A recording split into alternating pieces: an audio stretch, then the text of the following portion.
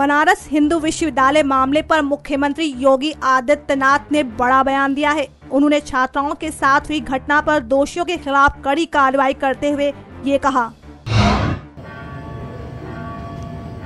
किसी भी प्रकार की कोई कार्रवाई बर्दाश्त नहीं की जाएगी और उनको, मैं कहूँगा कि विजयादशमी के बाद जब उनका विश्वविद्यालय खुलेगा, वे आराम से आएँ, अपने पठन पाठन के कार्य में लगें। विश्वविद्यालय प्रशासन से भी हम लोगों ने कहा कि उन छात्रों के साथ संवाद बना करके जो भी सुविधा हो सकती है आप लोगों को देना चाहिए।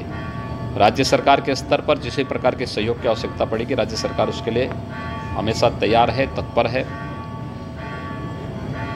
इसके अलावा जो असामाजिक तत्व थे, सभी विश्वविद्यालयों और महाविद्यालयों को इस बात को देखना चाहिए कि किसी भी प्रकार के सामाजिक तत्व, छात्र या छात्रा की आड़ में, उन संस्थाओं में जा कर के व्यवस्था न पैदा करने पाए, इसको अवश्य देखें।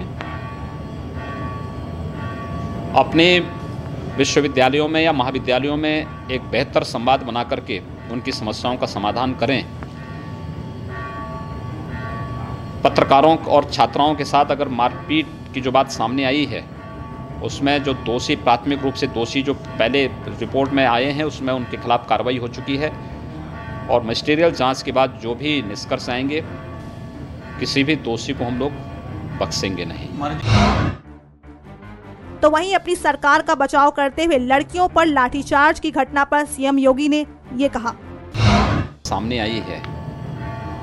जो बात सामने आई है इसके लिए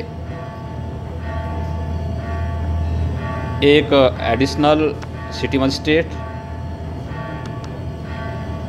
एक डिप्टी एसपी और एक एसएचओ के खिलाफ तात्कालिक रूप से कार्रवाई पहले ही की जा चुकी है।